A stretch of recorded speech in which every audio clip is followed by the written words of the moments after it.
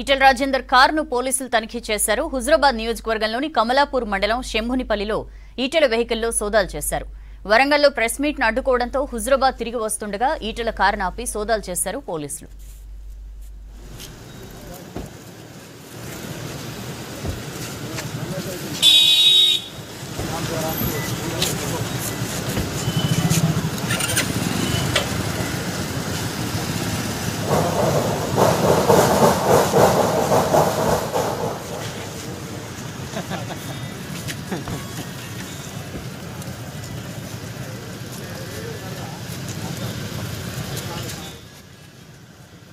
ఆంధ్ర కాంట్రాక్టర్లు అక్రమంగా సంపాదించిన వేల కోట్ల రూపాయల్ని హుజరాబాద్ నియోజకవర్గంలో పంచుతున్నారని ఆరోపించారు ఈటల రాజేందర్.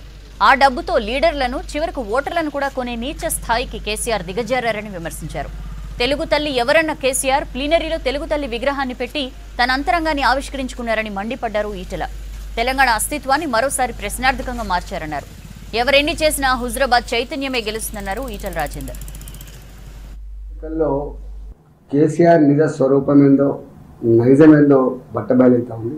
ఆంధ్ర కాంట్రాక్టర్లు వందల కోట్ల రూపాయలు హుజరాబాద్ తీసుకొచ్చి నాయకులను ప్రలోభపెట్టడం చివరికి ప్రజ ప్రజలు కూడా ప్రలోభపెట్టేటువంటి నీచమైన స్థాయికి తీసారండి కేసీఆర్. ఒకనాడు ఆంధ్ర కాంట్రాక్టర్లు తెలంగాణ ఉండరని చెప్పి ప్రగల్భాలు పలికిన కేసీఆర్ ఇవాళ అదే ఆంధ్ర కాంట్రాక్టర్లకి కాంట్రాక్టులు ఇచ్చి వేల కోట్ల రూపాయలు సంపాదించి అదే అక్రమంగా సంపాదించి డబ్బు సంచుల్ని హుజరాబాద్ ఖర్చు ఖర్చు పెట్టే పద్ధతి ఇలా యావత్ తెలంగాణ సమాజం అంతా కూడా అసహించుకుంటుంది. నిన్న కాక మొన్న జరిగిన ప్లీనరీలో యువతి ఆ తల్లి అని చెప్పిన మాట్లాడి తెలుగు తల్లి ఎక్కడ? యువతి ఆ తల్లి అని చెప్పి మాట్లాడిన కేసీఆర్ ఇవాళ అదే తెలుగు తల్లి విగ్రహాన్ని లిలిలో పెట్టి తన యొక్క అంతరంగం ఏందో ఇలా ఆవిష్కరించుకున్నాడు. తెలంగాణ ప్రజల ఆత్మగౌరవాన్ని కించపరిచాడు. ఇవాళ తెలంగాణ అస్తిత్వాన్ని మరోసారి ప్రశ్నార్థకంగా మార్చినటువంటి వ్యక్తి కేసీఆర్ గారు. ఇవాళ హుజరాబాద్లో మొత్తం యంత్రాంగం అంతా కూడా వందల కోట్ల రూపాయల ఆంధ్ర కాంట్రాక్టర్ డబ్బు సంచి తీసుకొచ్చి గ్రామాల గ్రామాల దావతగా మార్చిండు.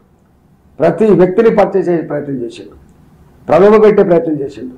వినని వాళ్ళని దౌర్జన్యంగా భయపెట్టించే ప్రయత్నం.